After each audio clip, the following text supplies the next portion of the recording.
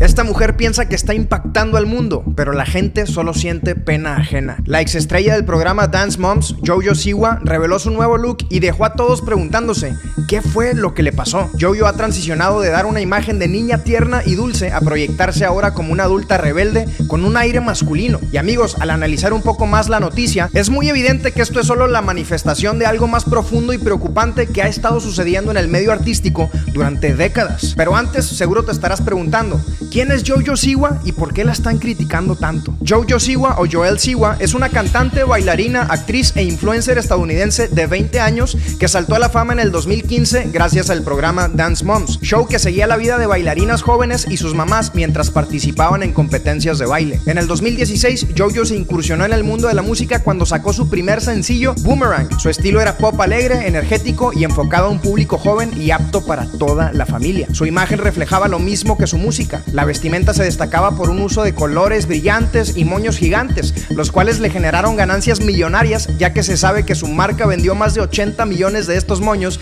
y muchos otros productos. Sin embargo, el día de hoy Jojo está en la boca de todos por su reciente cambio de imagen. Esta joven dejó atrás los moños y la ropa colorida para incursionar en una etapa más rebelde. Y ahora gente, la realidad es que esta no es la primera vez que Jojo ha estado envuelta en algún tipo de escándalo. Esto ha sido parte de su vida desde niña. Jojo comenzó sus apariciones en Dance Moms cuando tenía tan solo 9 años. Este programa fue muy popular, pero también muy controversial. La gente lo amaba o lo odiaba. Las niñas bailarinas en el programa eran sometidas a métodos extremos de entrenamiento por la coreógrafa Abby Lee Miller. Constantemente les gritaba y las hacía llorar, les hacía sentir que no estaban a la altura, se peleaba con las mamás y hacía que las niñas se pelearan entre ellas también. Básicamente esta maestra de coreografía se encargaba de crear el ambiente más tóxico posible para todas estas alumnas y sus madres. Y gente, aunque el show generaba controversia, todo este drama llamaba la atención del público. Y ya sabes, hay que darle a la gente lo que pide. Como el show generaba mucha atención y dinero, a pesar de las preocupaciones de muchos, la producción decidió seguir la misma línea e incluso se volvió cada vez más intenso.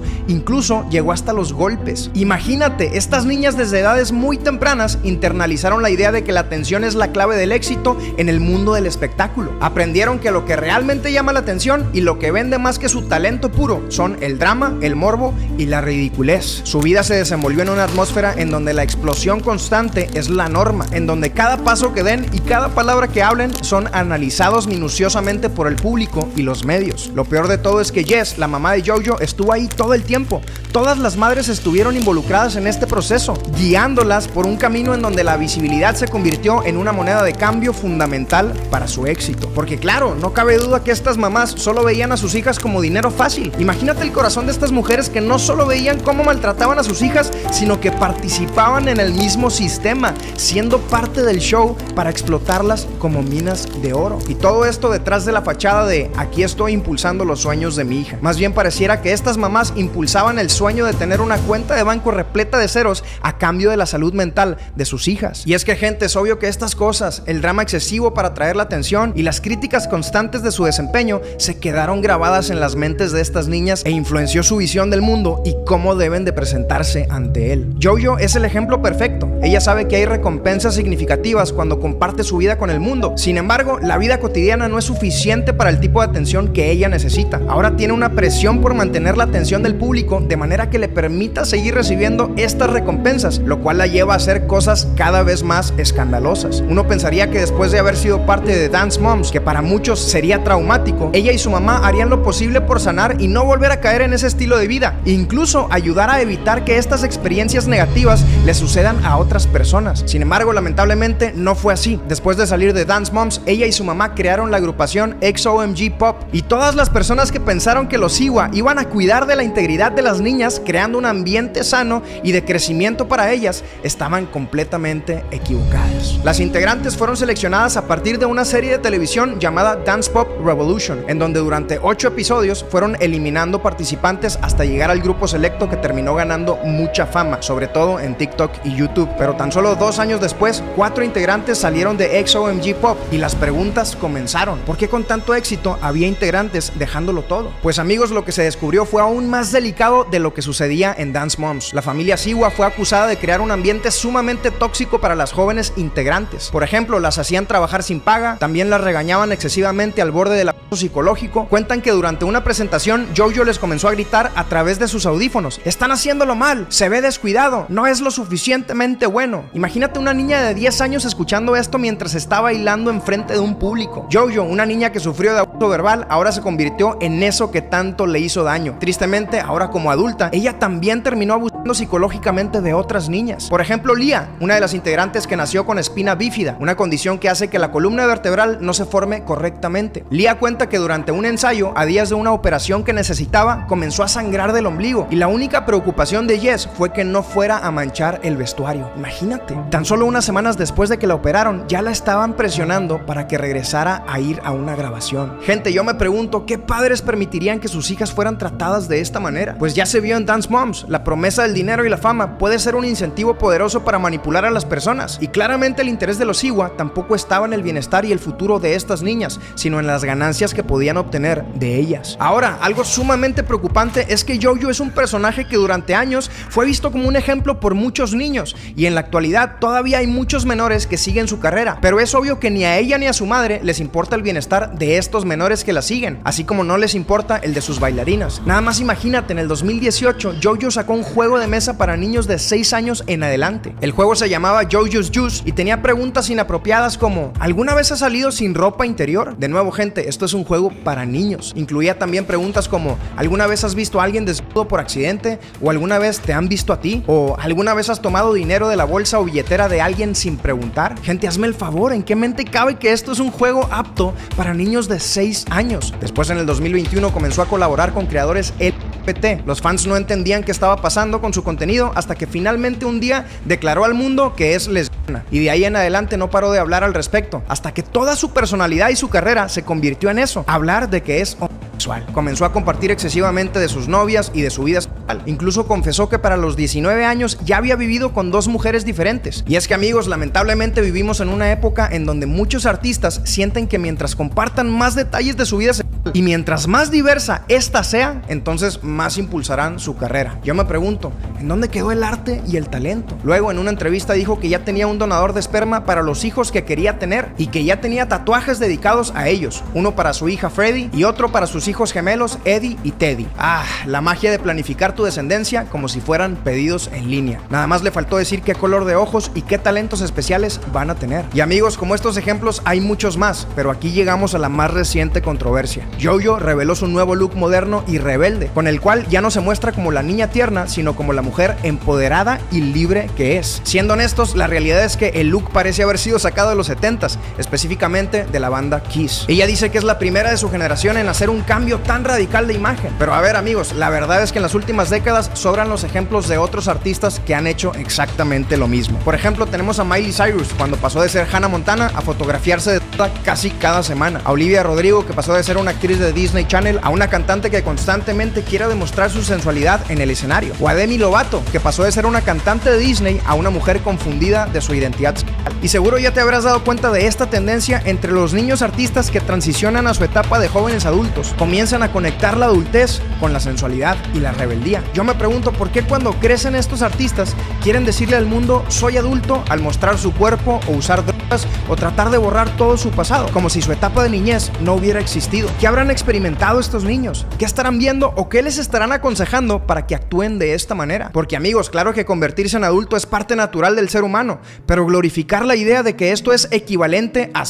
alcohol y fiestas muestra un problema grande en la industria, la deshumanización y la hipersexualización de las personas. Lamentablemente parece que todos estos niños artistas siguieron el mismo patrón al convertirse en jóvenes adultos, y es que todos tienen un común denominador. Tuvieron padres, representantes y mentores a su alrededor iguales a los de Jojo, adultos que solo les brindaron apoyo para hacerse de fama y dinero, pero que nunca estuvieron ahí para brindarles lo más importante, sabiduría, amor y atención genuina. Lamentablemente muchos de estos niños artistas se convirtieron en adultos que perpetúan el mismo problema. Recientemente Jojo presentó su nuevo sencillo Karma y con él su nuevo look. La canción y el video están llenos de referencias de infidelidad y de libertinaje. Ella también presume que esta nueva música es atrevida y controversial. Hasta se atrevió a decir que está creando un nuevo estilo musical, el K-pop. Wow, ahora Jojo es toda una visionaria. Y es que no sé tú, pero yo no veo la innovación aquí. No es como que no existen ya muchos artistas cantando pop. Sam Smith, Demi Lovato, Adam Lambert y la lista continúa. La realidad es que no hay nada nuevo aquí. Sin embargo, una vez más vemos cómo quiere que su sexualidad sea un punto focal de quién es ella como persona y como artista. Toda su persona ahora es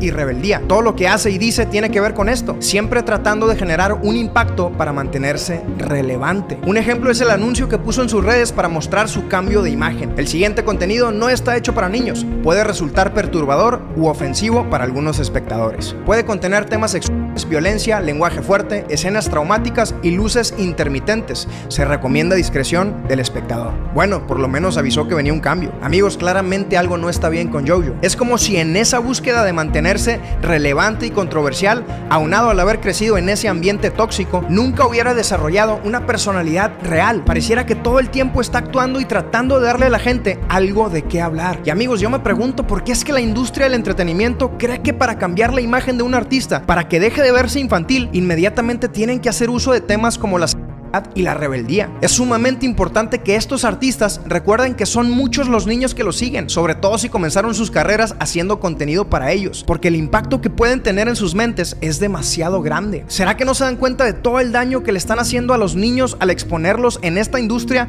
de esta manera? Lo vimos en Drew Barrymore, Macaulay Culkin, Justin Bieber, Jaden Smith y ahora en Jojo Siwa. Es obvio que algo no está funcionando bien en cómo se maneja la vida de estos menores que inician sus carreras desde tan corta edad. El no vivir una infancia normal está teniendo un impacto grande en sus vidas y las consecuencias se ven tarde o temprano. Amigos, esto no quiere decir que no deberían existir los niños artistas, pero su niñez no debería ser tomada a la ligera. Es necesario reconocer y respetar la importancia de la niñez y su inocencia en el proceso de desarrollo. Los niños son seres vulnerables que necesitan un entorno seguro y protegido para crecer de manera saludable. Esto incluye cuidar de su salud mental y emocional y que los padres estén presentes, con el corazón de sus hijos en mente y no tomando decisiones pensadas solo con la billetera. De lo contrario, gente, casos como el de Jojo Siwa van a seguir sucediendo. Amigos, no cabe duda que todo comienza en casa. En el caso de los padres de los artistas, estoy seguro de que estaban pensando en el futuro de sus hijos, pero la realidad es que el futuro no solo se trata de dinero y tristemente terminaron vendiendo su inocencia por una vida llena de problemas. En un mundo donde la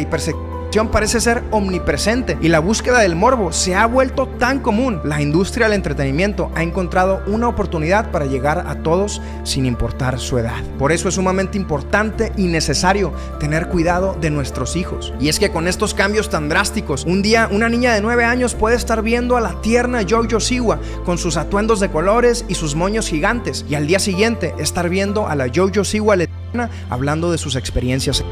Amigos, necesitamos despertar y tomar esto en serio. Es esencial ejercer un cuidado y una supervisión activa sobre el contenido al que están expuestos nuestros hijos. Debemos asegurarnos de que su desarrollo se dé en un entorno que respete su etapa de crecimiento. Hay que proteger su inocencia y asegurarnos de que tengan la información y experiencias adecuadas para su edad y madurez emocional. Ser padres es un privilegio, pero también una gran responsabilidad que debe ser tomada en serio. No podemos permitir que un día despertemos y no reconozcamos a nuestros pequeños. Está en nuestras manos la responsabilidad de que nunca tengamos que preguntarnos lo mismo que la gente se preguntó con Jojo. ¿Qué fue lo que le pasó?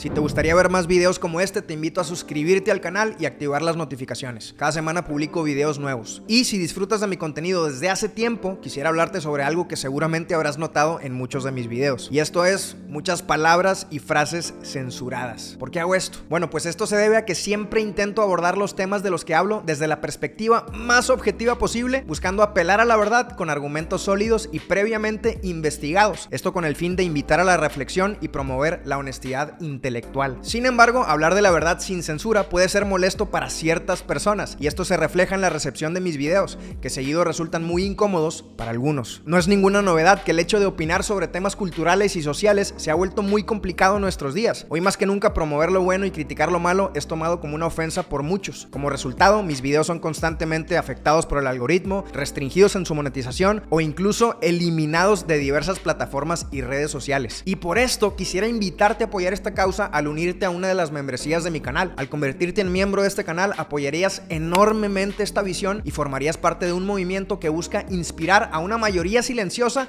a levantar su voz por lo que es correcto. Si te das una vuelta por mi canal, te darás cuenta de que me esfuerzo por mantener una alta calidad en cada uno de mis videos, desde la investigación y la redacción del guion hasta la calidad de la producción audiovisual. Y esto es porque además de que procuro que mis videos informen, persuadan y agreguen valor, también me esfuerzo porque sean entretenidos para puedas disfrutar mientras te informas y reflexionas sobre temas importantes. Todo esto es posible gracias a un gran equipo de personas que trabajan junto a mí y tu membresía nos ayudaría muchísimo a continuar con este esfuerzo. Además de eso, al ser miembro obtendrías beneficios exclusivos. Si deseas apoyar de esta manera, puedes unirte al canal haciendo clic en el botón que dice unirse. Ahí verás tres tipos de membresías disponibles. La primera se llama miembros. En esta tendrás acceso a contenido exclusivo como un live mensual en donde voy a responder preguntas, algunos de mis videos sin censura o videos en donde hablaré sobre los libros que leo y también algunas fotos y videos del detrás de cámaras. Además de eso, hay insignias de lealtad que aparecerán en tu nombre cuando comentes en mis videos y así yo podré reconocer tus comentarios más fácilmente. La segunda membresía se llama colaboradores. Ahí obtendrás los mismos beneficios que en la primera. La única diferencia es que en esta membresía podrás sugerirme temas para próximos videos. Y por último, la membresía de patrocinadores. En realidad esta opción de membresía no te dará ningún otro beneficio. Tendrás exactamente los mismos que ya mencioné, pero habilité esta opción para quienes quieran y puedan apoyar de manera adicional. Así que bueno, eso es todo. Muchas gracias por tu consideración y espero que puedas unirte a esta comunidad.